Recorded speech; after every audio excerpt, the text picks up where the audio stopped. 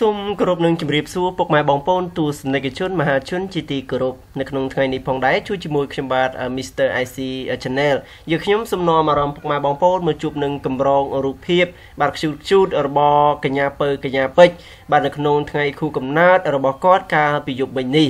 បាទពៅបញ្ញាពេជ្រត្រូវបានក្រុមគ្រួសារធ្វើពិធីខួបកំណើតកាលពីថ្ងៃទី4ខែឧសភាបាទយប់មិញនេះបើទោះបីជាអង្គុយនៅលើកៅអីមិនទាន់អាចដើរបានក៏ពិតមែនតែពៅបញ្ញាពេជ្រ បាទពើបញ្ញាពេជ្របានសម្ដែងអារម្មណ៍សប្បាយរីករាយជាមួយនឹងពិធីខួបកំណើតរបស់នាង បាទអញ្ចឹងយើងទៅមើលរូបភាព បាទខ្ជូតខ្ជូតរបស់ពៅបញ្ញាពេជ្រជាមួយនឹងក្រុមគ្រួសាររបស់នាងទាំងអស់គ្នាបាទតើមានភាពសប្បាយរីករាយយ៉ាងណានោះសូមពុកម៉ែបងប្អូនតាមដានជាមួយខ្ញុំបាទជាបន្តដូចតទៅបាទនេះគឺជាទស្សនវិជ្ជាបាទការប្រយុទ្ធមិញបាទ ដោយសារតែមានពុកម៉ែបងប្អូនមិត្តភ័ក្តិរបស់គាត់ក៏ដូចជាម្ដាយបាទក៏ដូចជាបងប្អូនស្រីបានធ្វើខួបកំណើតនិងមានកាដូបាទជាច្រើនជូនទៅដល់រូបនាងផងដែរបើទោះបីជាពិធីខួបកំណើតរបស់ពើបញ្ញាពេជ្រមិនបានរៀបចំធំដុំក៏ពិតមែនតែនាងបានសម្ដែងនៅអារម្មណ៍រំភើបដោយសារតែឃើញក្រុមគ្រួសារមានដូចជាម្ដាយបាទដូចជាក្មួយក្មួយបានរៀបចំនំខួបកំណើតយ៉ាងស្រស់ស្អាតដើម្បី subscribe បាទទៅដល់រូបនាងបាទនៅក្នុងនោះថ្ងៃនោះបាត់ក្មួយរបស់នាងក៏បានជូនកាដូជាទូរស័ព្ទដៃ iPhone ទៅដល់លោកនាងផងដែរបាទ iPhone 7ពណ៌ក្រហមបាទហើយពើបញ្ញាពេជ្របានសម្ដែងនៅទឹកមុខសបាយរីករាយនិងបានថតរូបបាទជួបជុំជាមួយនឹងក្រុមគ្រួសារនៅក្នុងថ្ងៃខួបកំណើតរបស់នាងបាទពើបញ្ញាពេជ្រក៏ទទួលបាននៅសារជូនពរពីសំណាក់មិត្តភ័ក្តិជាច្រើនសូមឲ្យនាងមានសុខភាពល្អ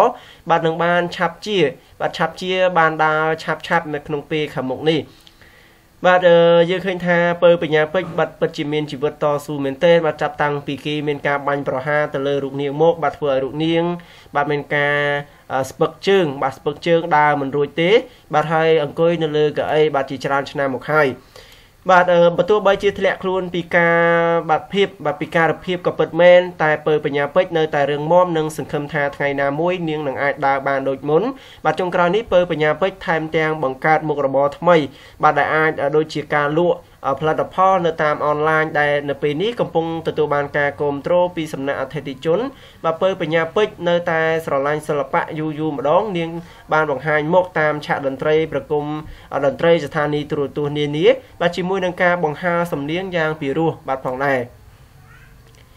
បាទនេះគឺជាសំណាក់ក្មួយប្រុសដែលបានជូនជាទូរស័ព្ទបាទ iPhone 7 Plus មួយគ្រឿងទៅដល់រូបនាងកាលពីយប់មិញបាទគួរបញ្ជាក់ផងដែរថាពើបញ្ញាពេជ្រត្រូវបានឃាតករបាញ់លបបាទលបបាញ់ប្រហារចំនួន2គ្រាប់នៅវេលាម៉ោង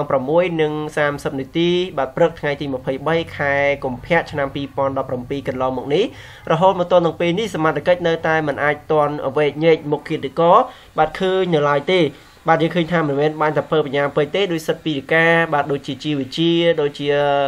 អឺបាទអ្នកផ្សេងទៀតបាទយើងឃើញថាមានការបាញ់ប្រហារជាច្រើនមែនទែនប៉ុន្តែមិនទាន់ចាប់បានម្នាក់សល់ឡើយ បាទហើយសម្រាប់ពើបញ្ញាពេជ្រក៏មិនចង់បានយុទ្ធធរអ្វីដែរដោយសារតែនាង បាទរំពឹងថាมันអាចរកយុទ្ធធរបានទេអញ្ចឹងមានថាមួយយ៉ាងគឺនាងបាទសុខចិត្តធ្វើយ៉ាងណាគឺកុំឲ្យតែគេមករញ៉េរញ៉ៃជាមួយនឹងខ្លួនទៀតបាទអ្វីដែលពិសេសនោះបាទនាងខិតខំធ្វើយ៉ាងណាដើម្បីឲ្យខ្លួនដើរបានដូចមុនបាទសុំតែម្យ៉ាងគឺមានសេចក្តីសុខបាទនៅក្នុងជីវិតរបស់នាងតែប៉ុណ្ណោះបាទអញ្ចឹងហើយយើងមិនដឹងថាអគិតកហ្នឹងគេចាំមើលឬក៏យ៉ាងម៉េចទេ បើសិនជាពើបញ្ញាពេជ្រដើរមិនបានគេប្រហែលជាមិនធ្វើអីទេប្រហែលជាដើរបានវិញប្រហែលជាអាយ៉ាប់ទៀបមិនខានឡើយបាទអញ្ចឹងនេះគឺជារឿងរ៉ាវមួយដែលនៅក្នុងសង្គមខ្មែរយើងពិតជាមានការភ័យខ្លាចមែនទែនការបាញ់ការលបបាញ់ប្រហារការអីហ្នឹងគឺជាសរយតែម្ដងបាទហើយបាញ់ប្រហារហ្នឹងឃើញមិនដែលចាប់បានម្នាក់ទេបាទហើយក៏មិនមានតម្រុយច្បាស់លាស់ណាមួយបាទដែលបង្ហាញថា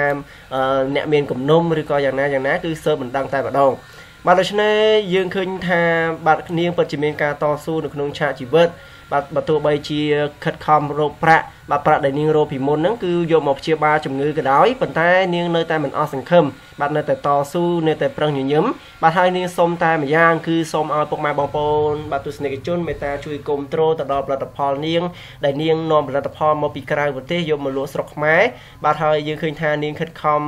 លក់បាទខិតខំរកស៊ីតាមអនឡាញដើម្បីបានប្រាក់ចំណេញតិចតួចយកទៅព្យាបាលជំងឺបាទជាពិសេសហ្នឹងគឺទៅព្យាបាលជើងរបស់នាងនៅឯប្រទេសថៃដើម្បីឲ្យធ្វើយ៉ាងម៉េចឲ្យដើរបានដូចមុន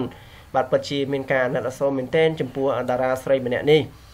បាទអញ្ចឹងរឿងរ៉ាវមួយនេះយើងខ្ញុំក៏សូមបញ្ចប់ត្រឹមនេះផងដែរអរគុណច្រើនសម្រាប់ការតាមដានរបស់ពុកម៉ែបងប្អូនតាំងពីដើមរហូតមកដល់ទីបញ្ចប់បាទជាចុងក្រោយបាទសូមអរគុណច្រើនសូមជម្រាបលា